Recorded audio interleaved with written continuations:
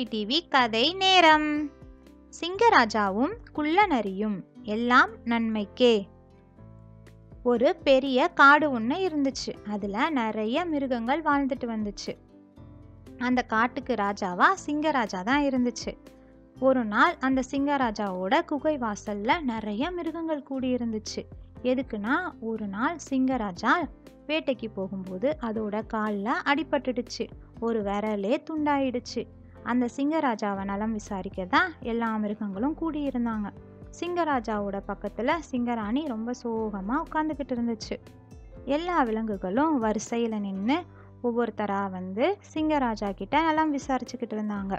அந்த வரிசையில் ஒரு குள்ள நரி நுழைஞ்சது. அந்த குள்ள நரி சிங்கராஜா பக்கத்தில் போனதும் பெருமூச்சு விட்டுச்சு. ம் எல்லாம் நன்மைக்கே அப்படின்னு சொல்லுச்சு. அதை கேட்ட சிங்கராஜாவுக்கு ரொம்ப கோவம் வந்துருச்சு. என்னோட காலில் அடிபட்டிருக்கு நீ நன்மைக்கேன்னு சொல்கிற அப்படின்னு சொல்லி அந்த குள்ள உடனே குகையில் அடைங்க அப்படின்னு சொல்லி கட்டளை இட்டுச்சு உடனே குரங்கு சிப்பாய்கள் அந்த குள்ள நரிய பாஞ்சு பிடிச்சி இழுத்துட்டு போனாங்க. ஒவ்வொரு காரியமும் நம்ம நன்மைக்கு தானே நான் இதில் என்ன தப்பாக சொன்னேன்? அப்படின்னு சொல்லிட்டு குள்ள நரி புலம்பிக்கிட்டே போச்சு. சிங்கராஜா காலில் இருக்கிற புண்ணு சரியாக ரொம்ப நாளாச்சு. காலில் ஒரு விரல் இல்லாதனால அது கம்பீரமாக நடக்க முடியாமல் நொண்டி நொண்டி தான் நடந்துச்சு. அதை பார்த்த எல்லா விலங்குகளும் அதை மறைமுகமாக நொண்டி ராஜா நொண்டி ராஜா அப்படின்னு கிண்டல் பண்ணாங்க. அதை கேட்ட சிங்கராணி ரொம்ப வருத்தப்பட்டாங்க. சிங்கராஜாவுக்கு இந்த பேர் யார் வச்சாங்க அப்படின்னு தெரிஞ்சால் இளவரசர் குட்டி சிங்கத்துக்கிட்ட சொல்லி அந்த விலங்குக்கு தண்டனை வாங்கி கொடுக்கணும் அப்படின்னு சொல்லிட்டு சிங்கராணி யோசிச்சுக்கிட்டு இருந்தாங்க. ஆனால் சிங்கராஜாவுக்கு இப்படி பேர் வச்சது அந்த குறும்புக்கார முயல் தானே யாருக்குமே தெரியாது.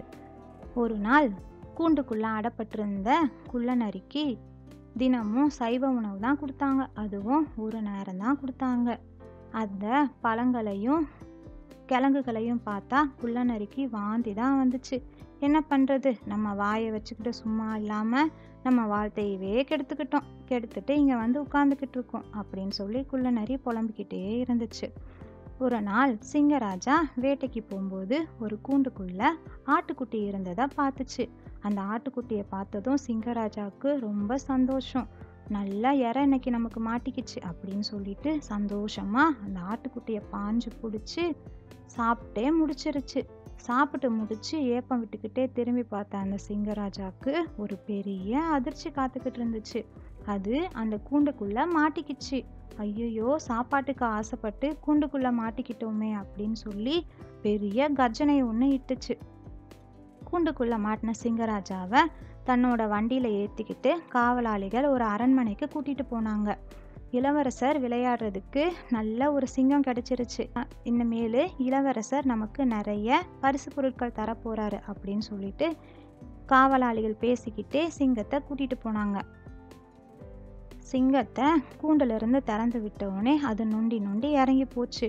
அதை பார்த்த காவலாளிகள் அதிர்ச்சி அடைஞ்சாங்க. இது இளவரசருக்கு விளையாடுறதுக்கு சரியான சிங்கம் இல்லையே அப்படின்னு சொல்லிட்டு திரும்பி கொண்டு போய் அதை காட்டிலேயே விட்டுட்டாங்க. அதை அப்போ தான் உணர்ந்துச்சு. தன்னோட காலில் அடிப்பட்டதுனால தான் நம்ம இன்னைக்கு தப்பிச்சோம். இல்லைன்னா அந்த கூண்டுலையே மாட்டிக்கிட்டு இருந்திருப்போம். அன்னைக்கு குள்ளநரி சொன்னது சரிதான். எல்லாம் நன்மைக்கே அப்படின்னு சொல்லிட்டு அப்படின்னு குள்ளநரி சொன்னதை நினச்சி பார்த்து உணர்ந்துச்சு. வீட்டுக்கு வந்த சிங்கம் தன்னோட சிங்கராணிக்கிட்டையும் எல்லார்கிட்டையும் தான் கூண்டுக்குள்ளே அடப்பட்டதையும் அங்கேருந்து காலில் அடிப்பட்டதுனால தான் தப்பிச்சு வந்ததையும் எல்லார்கிட்டையும் சொல்லிக்கிட்டு இருந்துச்சு. அதுக்கப்புறம் குரங்கு சிப்பாய்கள் கிட்ட குள்ளநரியை உடனே வெளியே விடுங்க அப்படின்னு கட்டளையிட்டுச்சு. வெளியே வந்த குள்ளநரியை பார்த்து சிங்கராஜா அறிவு கடலே அப்படின்னு சொல்லி வரவேற்றுச்சு. நீங்கள் சொன்னது உண்மைதான். யார் என்ன சொன்னாலும் கோவப்படாமல் அதை பொறுமையாக ஆராயணும். எல்லாமே நன்மைக்கு தான் அப்படின்னு சொல்லிக்கிட்டு உணரணும். இதை நான் உணர்ந்துட்டேன். நீங்கள் தான் இனிமேல் என்னோட மந்திரி அப்படின்னு சொல்லிட்டு சொல்லுச்சு. நடப்பது எல்லாம் நன்மைக்கே என்று நினைத்தால் துன்பம் தரக்கூடிய செயல் எதுவும் இல்லை. ஓகேவா குட்டீஸ்? இந்த சிங்கராஜா குள்ளநரி கதை உங்களுக்கு பிடிச்சதா குட்டீஸ்? பிடிச்சிருந்துச்சுன்னா நம்ம சேனலை லைக் பண்ணுங்கள் ஷேர் பண்ணுங்கள் மறக்காமல் சப்ஸ்கிரைப் பண்ணுங்கள்